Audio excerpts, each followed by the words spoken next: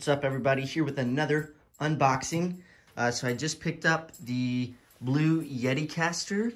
Uh, it's the microphone, shock mount, and like desk arm stand all in one. Runs you about 200 bucks at Best Buy. I had some reward certificates and uh, I have the kind of membership that gives you the two year warranty. So that's why I went with it. Um, I'm uh, pretty excited about it. I had to had to buy this because my dog decided to get at my Razer Krakens here while I was at work, which you guys know is what I record with. Uh, so Gumbo's, yeah, coming to feel real guilty about that, huh, bud?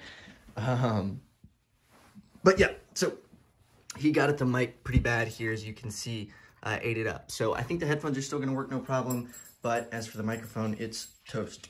So I've been wanting to get one of these for a while, um, but uh, this just kind of made it happen a little bit faster. So we're going to go ahead and unbox it. So this is what it looks like right out of the packaging. Uh, I'm trying to keep it as nicely remaining in its packaging as I can or let the packaging stay as nice as I can because I'm a little concerned about the, the fitment on my desk since it's so wide right here. Um, I don't know if it's going to grip like it's supposed to. As you can see, my desk uh, monitor mount didn't because that's probably about four inches there and this just didn't have the clearance. So I'm pretty certain that if this doesn't have the clearance, neither will the microphone. So we're just gonna play it by ear here, but I'm gonna get the rest of it opened and set out and we'll go from there. Okay, yeah, so I was kind of like immediately right. Uh, as you can see, it's about maybe a half inch, an inch too short.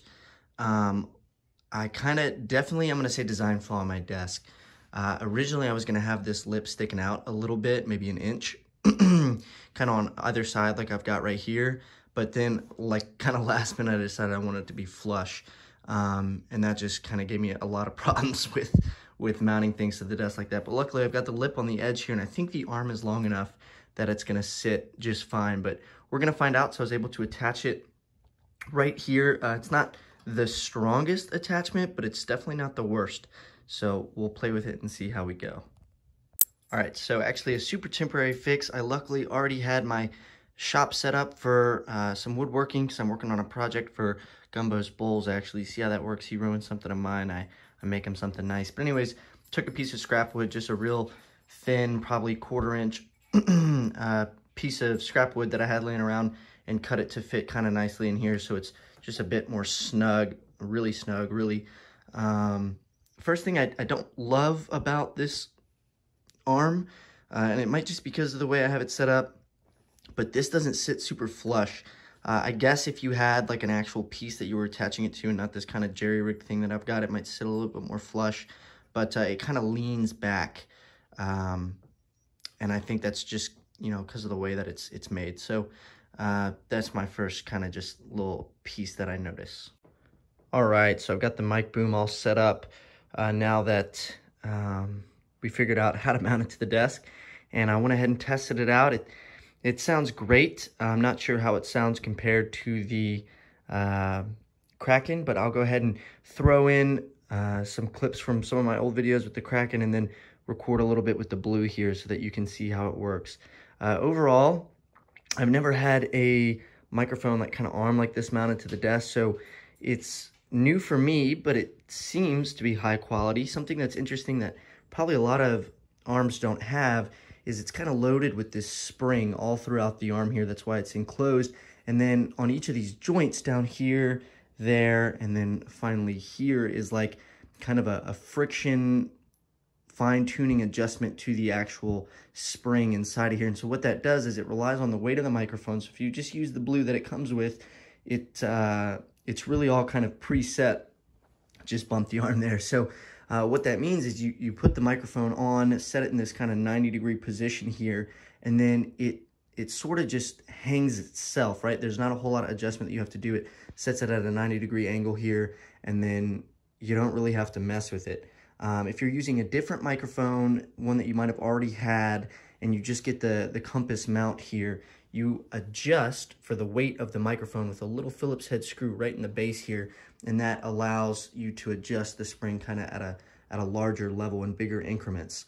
Um, so you just adjust it, and for instance, if I was gonna take this microphone off, like literally just un, unscrewed it, this thing would kind of re I don't know, align itself in the straight up position. And then when you put the microphone back down, it kind of balances itself. So that's pretty neat. I don't know how standard that is or uh, how beneficial, but it definitely makes setting it up pretty easy. It's a little bit confusing to figure out those fine tuning adjustments. I had to fine tune just a little bit, and that's probably because of where I put it on the desk. Uh, however, it actually fits really nicely being on the side of the desk there instead of where I was planning on putting it in between the Red Bull and my little uh, ceramic model of the Mustang there. Uh, so I like it, and I'll go ahead and play some sound clips.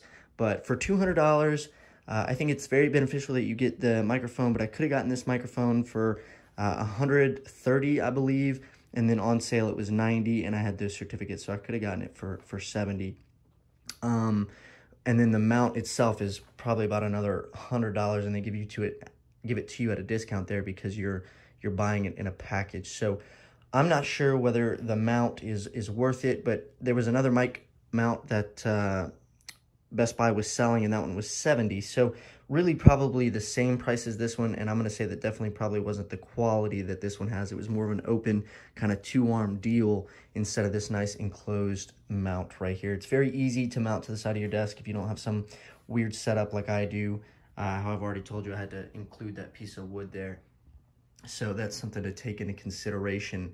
Um, other than that, I, I really like it. I'll show you how it sits here when I'm sitting at my desk. Uh, so I've got my volume knob, easily accessible, the mute button, and on the back here you have um, a pattern knob. Let's see if I can get it to focus, possibly. A pattern knob and then a gain knob for adjusting those more uh, detailed uh, settings. So that's it. You can adjust and um, I don't want to say that, add on, add a pop filter if you want to, but I tested this microphone just a little bit, and honestly, I don't think you need it. It sounds really, really nice.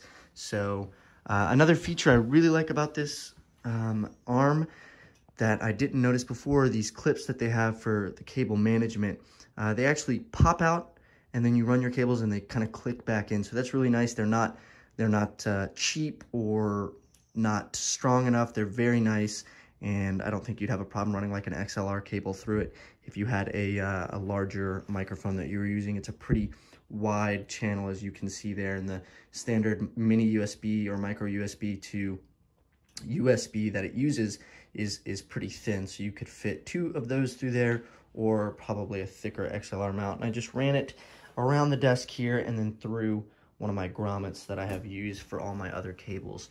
And as you can see, I haven't tidied the, the cable that it has, but it's a pretty long cable. It's definitely probably a four to six foot cable. I didn't measure it exactly, but uh, all in all, pretty satisfied. And I'll go ahead and play those clips, and uh, you can let me know what you think in the comments. All right, everybody, back with another video, episode two of this new series for the Horde. Uh, I wasn't so animated in my last video, so I'll try to be a little bit better uh, this time around.